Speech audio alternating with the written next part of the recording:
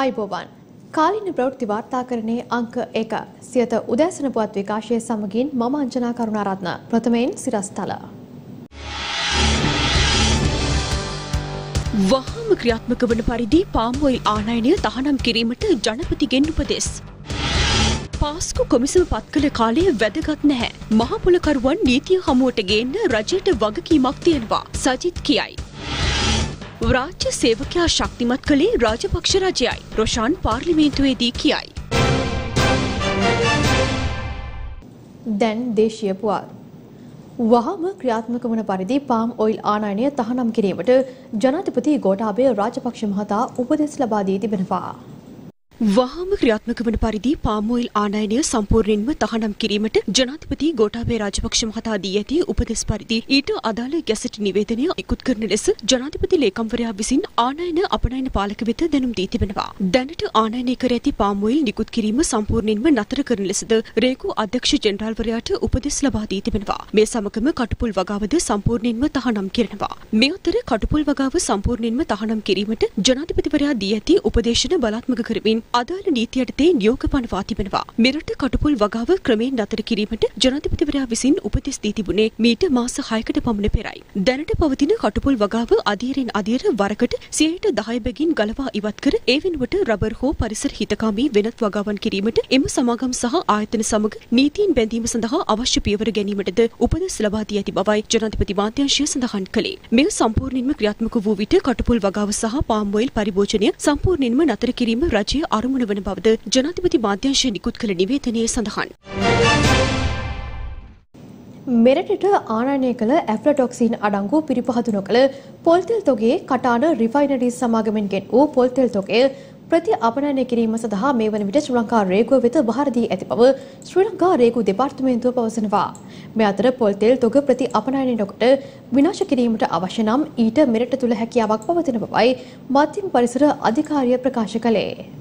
සමාගම් තුනක් විසින් මෙරටට ආනයනය කරන ලද පොල්තෙල් වල ඇෆ්ලටොක්සින් නම් පිළිකාකාරකය ඉහළ ප්‍රතිශතයකින් අඩංගු බවට පරීක්ෂණ ත්‍රිත්වයකින් තහවුරු වූ අතර ඒවා නැවත ප්‍රතිඅපනයනය කිරීමට රජය තීරණය කළා. ඒ අනුව එම සමාගම් ත්‍රෙත්වයෙන් එක් සමාගමක් වන කටාන රිෆයිනරී සමාගමගෙන් වූ පිළිකාකාරක පිරිපහදු නොකළ පොල්තෙල් මේ වන විට ප්‍රතිඅපනයනය සඳහා සූදානම් කර ඇති බවයි ශ්‍රී ලංකා රේගුව ප්‍රකාශ කළේ. ඉදිරි සති කිහිපය තුළ අනෙකුත් තෙල් තොග ප්‍රතිඅපනයනය කිරීමට සැලසුම් කර තිබෙනවා. මේ අතර එම තෙල් තොග ප්‍රතිඅපනයනය නොකොට පරිසරයට බලපෑමක් නොවන අයුරින් මෙරටදීම විනාශ කිරීමට අවශ්‍ය නම් මෙරට තුළ ඊට හැකියාවක් පවතින බවයි මධ්‍යම පරිසර අධිකාරියේ සභාපතිවරයා ප්‍රකාශ ප්‍රකාශ කර ඇත්තේ. මේ අතර මෙරටට මෙලෙස පිළිකාකාරක පොල්තෙල් ආනයනය කළ සමාගම් වලට එරෙහිව තරාතිරම නොබලා දඬුවම් කළ යුතු බව පූජ්‍යනාරම්පනාවේ ආනන්ද හිමියන් පවසනවා.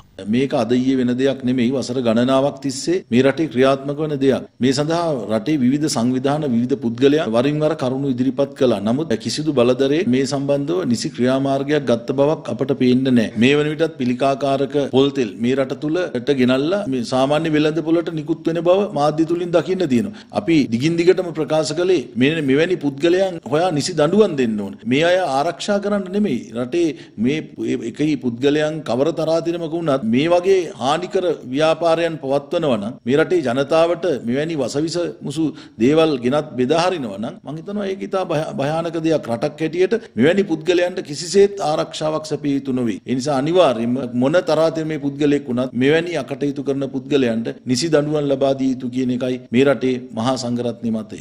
එමෙන්ම වෙළඳ පොළෙහි පවතින පොල්තෙල් ආහාරයට ගැනීමට සුදුසුද නැද්ද යන්න සම්බන්ධයෙන් පරීක්ෂා කිරීමට පොල්තෙල් සාම්පල මහජන සෞඛ්‍ය පරීක්ෂකවරුන් යොදවා ලබා ගැනීමට කටයුතු කළද එම පරීක්ෂණ සඳහා ප්‍රමාණවත් පහසුකම් නොමැති බවයි මහජන සෞඛ්‍ය පරීක්ෂකවරුන්ගේ සංගමය පවසන්නේ. ලංකාවේ ඇෆලටොක්සින් පරීක්ෂා කිරීම සඳහා ආහාර පනත යටතේ නීතිමය ප්‍රතිපාදන සහිතව යම් තරමකට හෝ පහසුකම් තියෙන රජයේ රස පරීක්ෂකවරයා සමගයි. නමුත් ඒ රජයේ රස පරීක්ෂකවරයා සතුව තියෙන ඒ පහසුකම් වලින් පරීක්ෂා කර හැක්කේ ඊටාම සුළු සාම්පල ප්‍රමාණයක් පමණයි. ඒ නිසා මහජන සෞඛ්‍ය පරීක්ෂකවරුන් ශේෂ්ත්‍රයේ කොතරම් පොල්තෙල් සාම්පල ලබා ගත්තත් ප්‍රමාණවත් පරිදි විශ්ලේෂණ වාර්තා ලබා ගැනීමේ හැකියාව ලංකාව තුල නැහැ. ඒ නිසා එය බරපතල ගැටලුකාරී තත්ත්වයක්. මේ අතර ශ්‍රී ලංකා ප්‍රමිති ආයතනයේ ප්‍රධාන රූපවාහිනී සිද්ධිකා සෙනවිරත්න මහත්මිය පසුගියදා පොල්තෙල් සම්බන්ධයෙන් සිදු කළ ප්‍රකාශයක් පිළිබඳව පැමිණිල්ලක් සිදු කිරීම සඳහා භික්ෂූන් වහන්සේ ඇතුළු පාර්ශව රැසක් අපරාධ පරීක්ෂණ දෙපාර්තමේන්තුව වෙත පැමිණියා. ප්‍රමිති ආයතනයේ ඒ අධ්‍යක්ෂ ජෙනරාල්තුමිය කියනවා ප්‍රමිතියක් නැති විස ආහාර නිෂ්පාදනය කරන ආයතන ඇය දන්න අය හඳුනගෙන තියෙනවා නමුත් ඒවා කඩා වැටෙන්න දෙන්න බෑ ඒවට විරුද්ධව පියවර ගන්න බැහැයි කියන ව්‍යාංගයෙන් ප්‍රකාශ තමයි අය කරන්නේ. ඒක සංගවාගෙන සිටීමත් අපි කියන්නේ බරපතල වරදක්. ඒ වගේම අපිට සැකයක් තියෙන අය අත යට ගනුදෙනු කරනවාද මේ සමාගම් කරුවන් සමග කියලා. ඒ කම්පැනි අපිට නම් ගෙලි කරන්න එපා. අපි කියන්නේ මේකයි. ඒ බාණ්ඩ තමයි පරිප්පු. ඒ බාණ්ඩ තමයි වියලි මිරිස්. ඒ බාණ්ඩ තමයි කිරිපිටි. ඒ බාණ්ඩ තමයි වෙළඳ පොලේ තිබෙන අහිතකර පිටරටින් ගෙන්නන ආහාර පාන. මම ඕවා අවුරුදු ගානක් තිස්සේ ප්‍රදර්ශන තියලා මේ මාධ්‍ය නාලිකා මාධ්‍ය පුස්තකයේ තියෙන මේවා පෙන්වපු හැටි. දැන් තමයි කට්ටිය කිඹුල් කඳුළු හෙලන්නේ. ප්‍රමිති ආයතනයේ අධ්‍යක්ෂක ජෙනරාල් සිද්ධිකා සේනාරත්න මහත්මිය ප්‍රකාශයක් සිද්ධ කරනවා පොල් තෙල් වලට අමතරව ඇප්ටොක්සින් විසකාරකයේ තිබෙන්නා වූ තවත් ආහාර වර්ග බොහොමයක් තියෙනවා. හැබැයි ඒ නම් හෙලි කරන්න බෑ මොකද ඒ ආයතන කඩා වැටේවි. ජනතාව ටික කාලයක් වසකෑවට කමන්නේ අපිට ඕනේ ඒ ආයතන හදාගන්න කියලා වගේ අදහසක් මේ රටට හෙලි කරනවා. ඉතින් මේ කතාවත් එක්ක බරපතල ප්‍රශ්නයක් තියෙනවා. මේ අධ්‍යක්ෂක ජෙනරාල්වරිය ඇතුළු ප්‍රමිති ආයතනය ඇතුළු මේ අදාළ ආහාර සම්බන්ධ ආයතන වලින් අපේ රටේ ජනතාවට කාලාන්තරයක් තිස්සේ වසවිස කවලා තියෙනවා. ඒ නිසා ජනාධිපතිවරයා වහාම මේ අදාළ ආයතන අධ්‍යක්ෂක ජෙනරාල්වරියගේ වැඩ තහනම් කළ යුතුයි. මේ අතර ප්‍රමිති ආයතනයේ අධ්‍යක්ෂ ජෙනරාල්වරිය සම්බන්ධයෙන් අමාත්‍ය බන්දුල ගුණවර්ධන මහතාද මෙලෙස අදහස් පළ කළා. ප්‍රමිති ආයතනයේ සභාපතිවරයා මේ රජතුමා සාකච්ඡාවේදී ප්‍රකාශයක් මේ වස අඩංගු ආහාර ද්‍රව්‍යයන් සම්බන්ධ ඉදි කරන්න බෑ අපිට ඒවා කඩාගෙන වැටෙන නිසා කියලා ප්‍රකාශයක් කරනවා. ඒක එතුමියගේ පුද්ගලික මතයක් වෙන්න පුළුවන් නමුත් ඒ ආයතන විසින් සමහර දේවල් පිළිබඳ විද්‍යාත්මක පර්යේෂණ අනිත්‍යව තුලින් තියෙන නිගමන තියෙනවා. ඒවා අපිට බැලූ බැල්මට වැටහෙන්නේ. නමුත් ඒක ගැන මට මතයක් කියන්න බැරි මං ඒ පිළිබඳ ප්‍රාමාණික විද්වතෙක් නොවේ. අපි ජනතාවට වගකීමක් සහිතව රාජ්‍යංශයේ පොල්තෙල් සපයනවා. රජයේ BCC ආයතනයේ ඒ ආයතනයේම සාකාවක් තියෙනවා නාරායන්පිට කිරිමණ්ඩමාවතේ රජවාසවල. ඒ වගේම පසු සම්පත් මණ්ඩලයේ සාකාවක් තියෙනවා. අපිත් සතු සහරා පොල්තෙල් සපයනවා ඒ පවතින මිලට. පිළිකාකාරක ආනායනික පොල්තෙල් සම්බන්ධයෙන් දේශපාලන වේදිකාවේ මෙලෙස අදහස් පළ වුණා.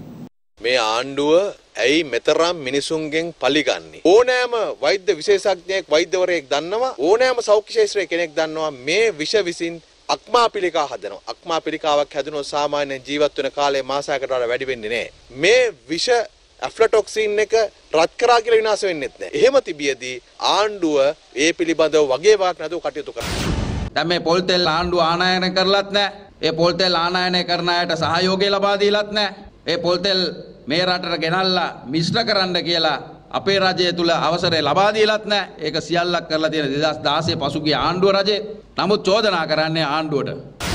පොල් තෙල් වලින් අද ආණ්ඩුව හොඳටම නාගෙන තිනවා සිංහල අවුරුද්ද කිට්ටුව පොල් තෙල් අත්‍යවශ්‍යම දෙයක් මේ අත්‍යවශ්‍යම වෙලාවක අඩු ගානේ ගෙදරකට පොල් තෙල් ටිකක් අරන් අනුභව කරන්න පුළුවන් තත්ත්වයක් නැහැ ඒ මොකද කොකිස් පෙත්තක් කනකොට කැවුම් ගෙඩියක් තම්බනකොට ඒකට හරියට පිරිසුදු තෙල් ටිකක් නැහැ විශාල අපරාධයක්. මිනිස්සුන්ව මරන්න අනියම් ආකාරයෙන් කරන උදව්වක්. ඒ නිසා එනක් මම හිතන්නේ මරණීය තර්ජනයක් මිනිසුන්ට ගෙනාව වැරදිකරුවන් හැටියට ක්‍රිමිනල් නීතියක් දඬුවම් කරන්න පුළුවන්.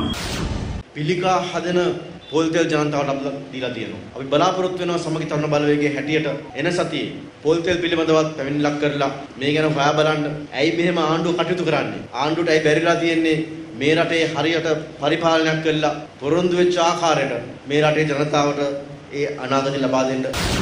දැන් මේ රටට පොල් තෙල් ආනයනය කරන්න ඕනෑම කෙනෙකුට පුළුවන්. නමුත් ආනයනය කරන පොල් තෙල් වල යම් යම් විෂද්‍රව්‍ය තියෙනවා නම් රේගුව මගින් ඒ අවශ්‍ය පරීක්ෂාවන්ට භාජනය කළා තමයි රටට බෙදන්නට අවසර දෙන්නේ. ඒ වගේ විෂකාරක තිබුණා කියලා ජනාධිපතිතුමා අගමැතිතුමා මැති ඇමතිවරු වග කිය යුතු නෑ. අපට අහන්න තියෙන්නේ ලංකාවේ ප්‍රමිති ආයතනය රටේ පාරිභෝගිකය වෙනුවෙන්ද මහජනය වෙනුවෙන්ද එහෙම නැත්නම් සමාගම් වෙනුවෙන්ද පෙනී ඉන්නේ කියලා. මොකද අපි දැක්ක පහුගිය දවස්වල නිලධාරිනියක් ඉස්සරහට ඇවිල්ලා කරපු ප්‍රකාශය. ඇය කියන විදිහට තවත් තියෙනවා විෂකාරක සහිත ආහාර. ඒවා එතුමියට කරන්න කියන්න බෑ කියලා එතුමිය කියන්නේ. මේ ගැන වහාම පරීක්ෂණයක් කරන්න ඕනේ ආණ්ඩුව.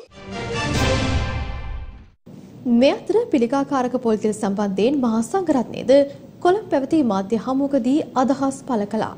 මෑතකම ආපු ප්‍රශ්නේ පොල්තෙල් ප්‍රශ්නේ. අවුරුදු කාලේ මිනිස්සු පොල්තෙල් පාවිච්චි කරනවා වැඩි. ඉතින් ඒකට වස විස මිශ්‍ර පොල්තෙල් රට පුරා බෙදා හැරලා තියෙනවා කියලා දැන් විශාල ආందోලනයක් රටේ යනවා. නමුත් වගේ වගක් නැහැ.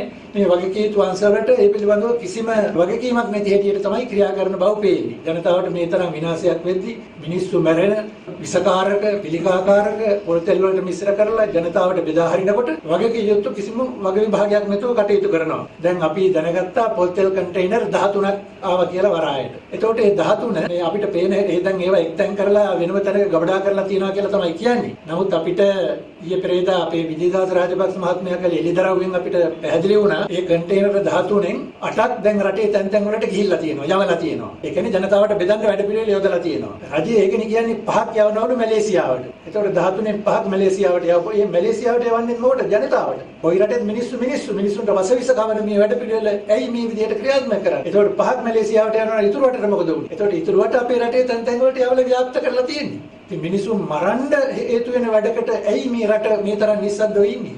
දැන් මාධ්‍යවල යන්නේ කැවුම් බදිනවා කියලා නෙවෙයි කැවුම් උයනවා කියලා. මාධ්‍යවල දැන් යන්නේ. මොකද මේ තෙල් ප්‍රශ්න නිසා. ඒ නිසා තෙල් ප්‍රශ්නය අපි දේශීපාසු කාර්යයක් නෙවෙයි. ඒ මුළු රටේටම රටටම ඒ තෙල් දැන් ව්‍යාප්ත වෙලා තිබෙන්නේ.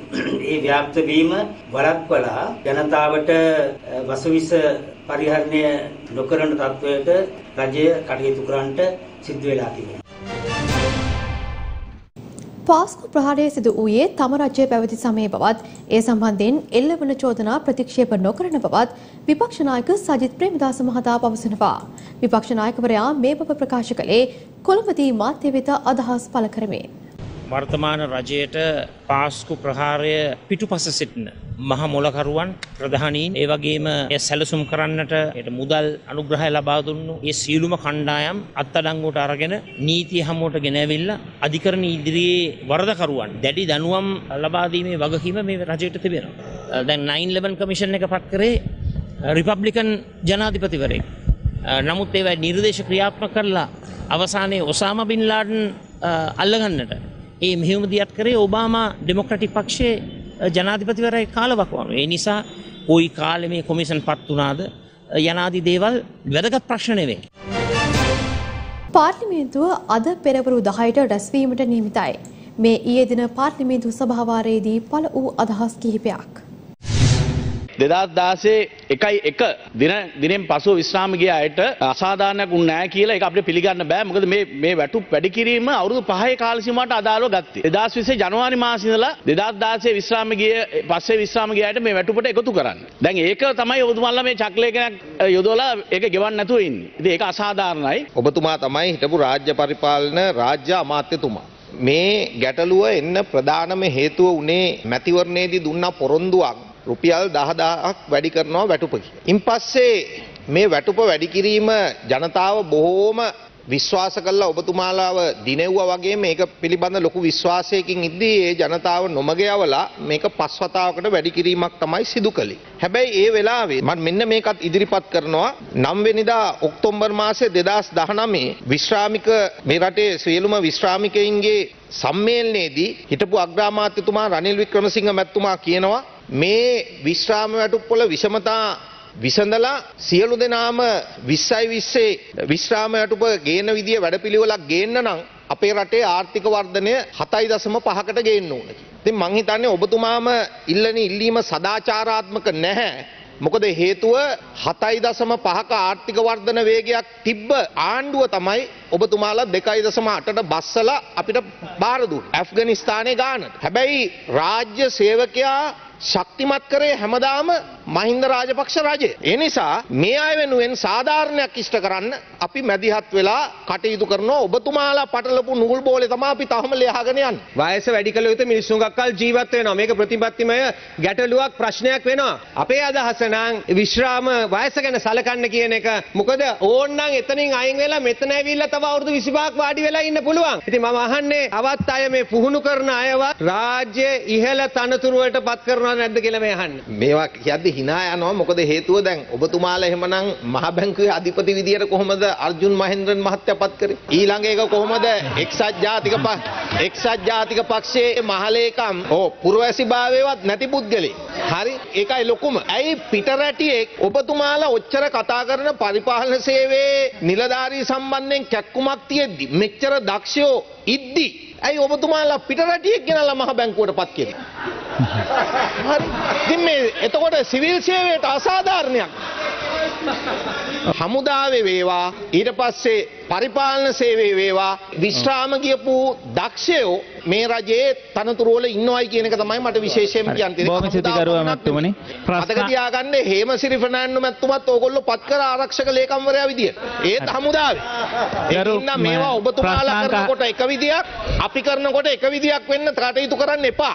මේ වහබ්වාදය කියන එකේ රජය විසින් මොකක් හරි නිර්ණායකයක් තිබෙනවද මේකයි මේ වහබ්වාදය මේක පැතුරුවොත් අත්තරංගුවට ගන්නවයි කියලා එහෙම නිර්ණායකයක් අපි හදාගෙන තිබෙනවද රජය විසින්? ඔව් ඒක සාමාන්‍ය දැනුමක්. මොකද IS කියන්නේ මතවාදයක්. ඒ වගේම තමයි වහබ්වාදය කියන්නේ අල්වරා වල්බරා. ඒ කියන්නේ මුස්ලිම් ආගම පමණයි තිබිය යුත්තේ. මුස්ලිම් ආගමට පටහැනි සියල්ලක්ම විනාශ කළ යුතුයි කියන ඒ චින්තනය තමයි තියෙන්නේ. ඉතින් වහබ්වාදයත් එහෙමයි අනිකුත් සියලුම ආගම් විනාශ කළ යුතුයි කියන ඒ මතවාදය. ඒ නිසා මේ මතවාදයේ සිටින සියල්ලක්ම අපි විමර්ශන කටයුතු කරන අතරතුරදී අපි අත්අඩංගුවට අරගෙන ඔවුන්ගෙන් ප්‍රශ්න කිරීම දිගටම කරගෙන යනවා. ගරු ඇමතුමා කියන්නේ නිර්ණායකයක් හදාගෙන තිබෙනවා. මේ මේක මේක තමයි කියන්නේ. වහබ්වාදී කියන නිර්ණායකයක් තිබෙනවා. ඔව් වහබ්වාදී කියන ගැන අන්තර්ජාලයට ගියාමත් ඔබතුමාට ඉතාම හොඳ දැනගැනීමක් ඒකෙන් ලබා ගන්න පුළුවන් වෙනවා. අපි දැක්කා විශේෂයෙන්ම පුත්තලම දිස්ත්‍රික්කයේ තුල වැඩ කරපු ඒ සහකාර පොලිස් අධිකාරී එරික් මහත්මයා විශේෂයෙන්ම මේ මද්ද්‍රව්‍ය හා සමාජ විරෝධී ක්‍රියාවන් වලට එරෙහිව දිගින් දිගටම කටයුතු කිරීම ගැන ඒ පළාතේ ඉන්න දේශපාලඥයන්ගේ ඉල්ලීම මත අද වෙනකොට එතුමාව ස්ථාන මාරු කරලා තිබෙනවා. ඒතකොට අද පොලිස් කොමිසමකුත් ක්‍රියාත්මක වෙනවා. මාරු කළේ ඔහුට විරුද්ධව යම්කිසි පෙස්සම් සංඛ්‍යාවක් ඇවිල්ලා තියෙනවා. ඒ පෙස්සම් සංඛ්‍යාව විමර්ශනය කරනු තමයි ඔහුගේ එතනින් අරගෙන ඔහුගේ ඉල්ලීමක් තමයි ඔහුව මේගමුවට මේගම ප්‍රදේශයට යවලා තියෙන්නේ. මෙවර අවුරුදු සමය වෙනුවෙන් ගුණාත්මක භාවයෙන් ඉහළ සහන මල්ලක් ලබා දීමට කටයුතු කර ඇති බව අමාත්‍ය බන්දුල ගුණවර්ධන මහතා පවසනවා. ඒ කොළඹ පැවති මාධ්‍ය හමුවකට එක්වෙමි.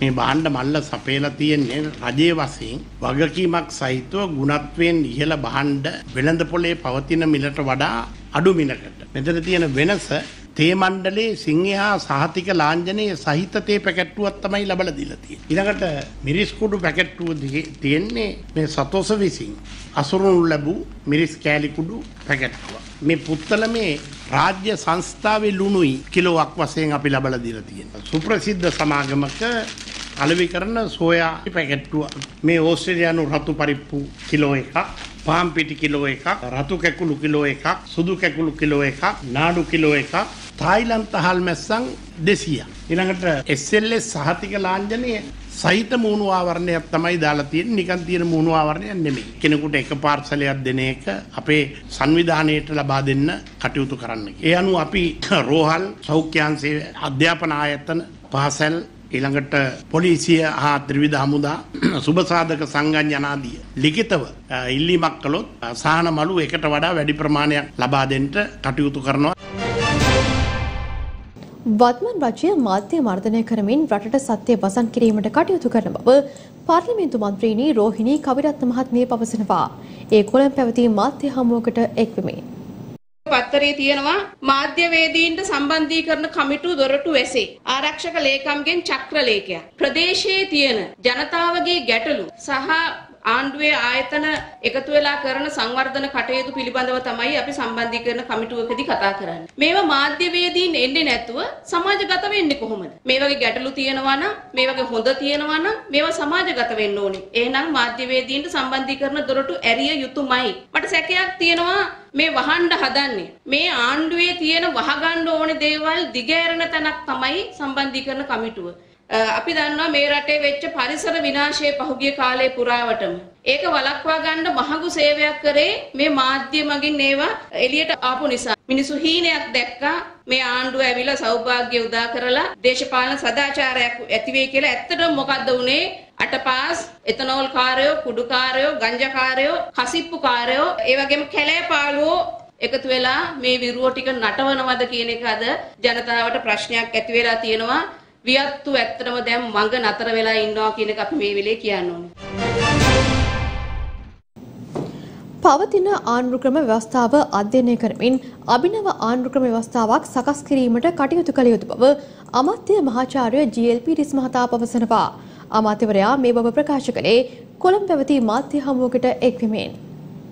සමස්ත ආණ්ඩුක්‍රම ව්‍යවස්ථාව ගැඹුරු අධ්‍යයනයකට ලක් කළා අංග සම්පූර්ණ අභිනව ආණ්ඩුක්‍රම ව්‍යවස්ථාවක් සකස් කිරීම කාලීන අවශ්‍යතාවයක් හැටියට අපි දකිනවා. ඒ නිසා තමයි ප්‍රථම පියවරක් හැටියට ජනාධිපති නීතිඥ රොමේෂ් ද සිල්වා මැතිතුමාගේ ප්‍රධානත්වයෙන් නව දෙනෙකුගෙන් සැදුම් ලත් විද්වත් කමිටුවක් පත් කළා ජූනි මාසයට පෙර. ඒ විද්වත් කමිටුවේ වාර්තාව රජයට බාර දෙයි කියලා අපි බලාපොරොත්තු වෙනවා. ඒ සමස්ත වැඩපිළිවෙල තුල ජනතාව විශේෂයෙන්ම බලාපොරොත්තු වන දෙයක් තමයි මැතිවරණ නීති පද්ධතිය සම්පූර්ණ සංශෝධනයකට ලක් කිරීම. අලුත් නීතියක් නැතුව පළාත් සභා මැතිවරණ පවත්වන්න බෑ. පළාත් සභා මැතිවරණ කොයි ක්‍රමයේ අනුවද පවත්වන්නේ කියන එක නිශ්චිත නැහැ. එතකොට මේ හිඩැස පුරවන්නේ නැතිව පළාත් සභා මැතිවරණ පවත්වන්න බෑ කියන එක ශ්‍රේෂ්ඨාධිකරණයත් තීරණය කළා තියෙනවා.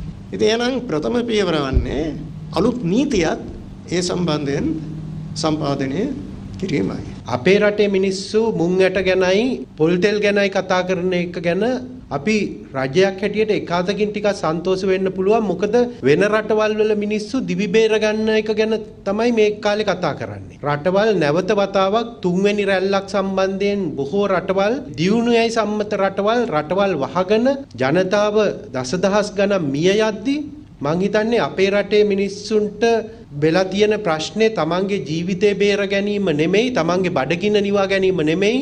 පහුගිය කාලේ කිව්වා හොරකම් කරනවා හොරකම් කරනවා කියලා. බොරු කියලා බලය ගත්තා.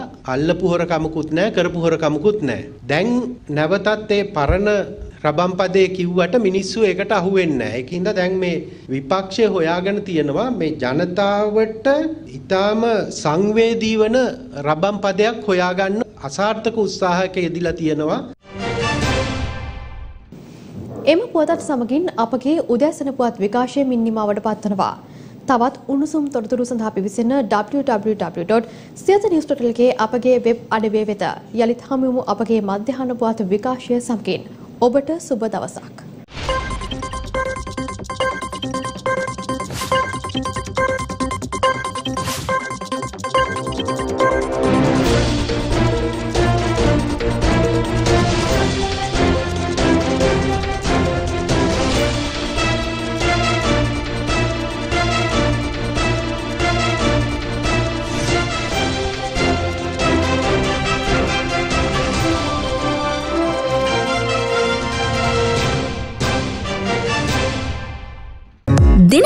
අලුත් වීඩියෝ සහ ප්‍රවෘත්ති නැරඹීමට ඉහත බටන එක ක්ලික් කර සියත TV සබස්ක්‍රයිබ් කරන්න.